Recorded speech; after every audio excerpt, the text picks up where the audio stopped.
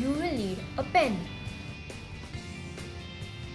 1 teaspoon of coffee, 1 8 cup of water, strip of white paper, golden metallic paint, paint brushes, clear tape, a pair of scissors, spoon,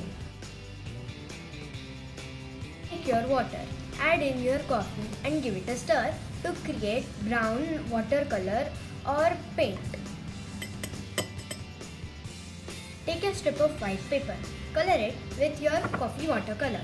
Let it dry for about half an hour so that once it's dry it turns nice and crisp.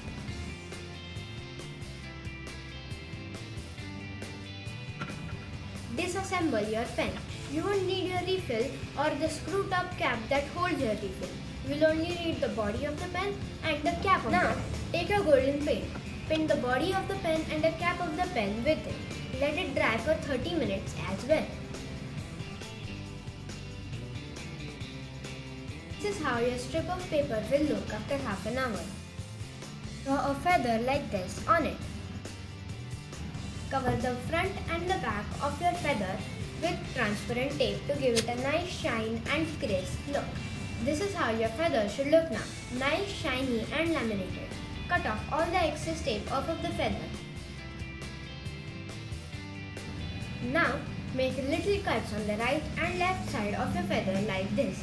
Also curl them a little bit with your finger to give it a realistic look.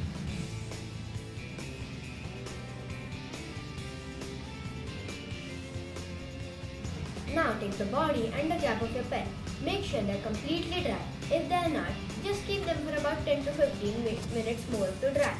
Now keep the stem of your feather on the back part of your pen body like this and tape it down this is how it should look now. Now just assemble the pen like you would normally do. Your quill pen is ready.